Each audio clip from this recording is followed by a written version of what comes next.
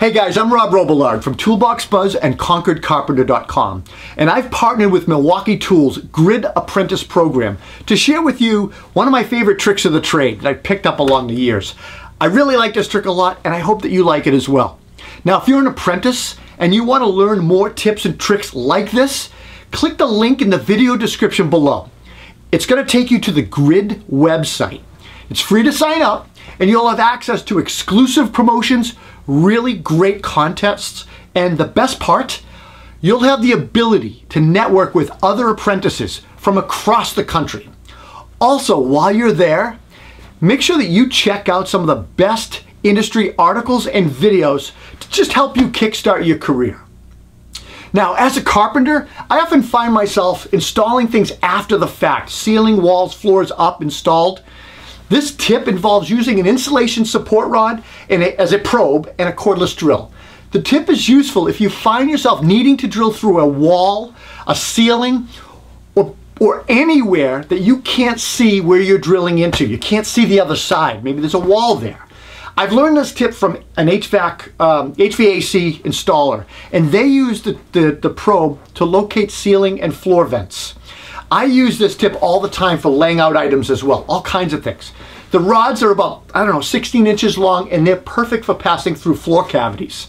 So the main reason I like it, it also saves considerable amount of time later on. What I mean by that is from patching exploratory holes that we used to have to cut in walls and ceilings to see what's, what's you know, what's there. And that's because the probe allows you to just go right through the assembly without causing a lot of damage.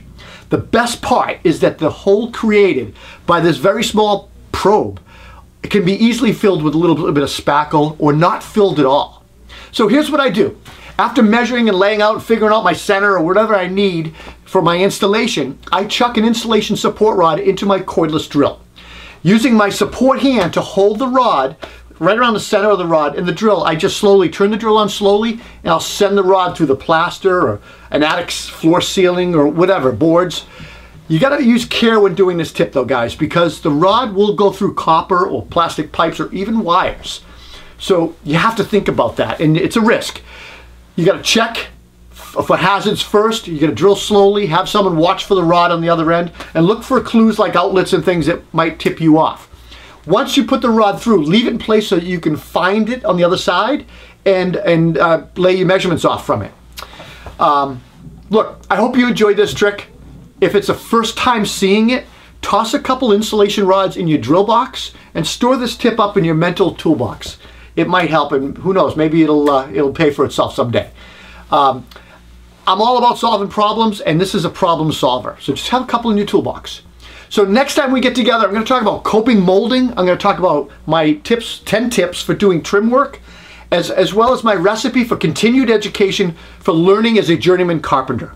Until next time, remember to develop a passion for learning, and if you do, you will never stop growing. Stay well, keep learning.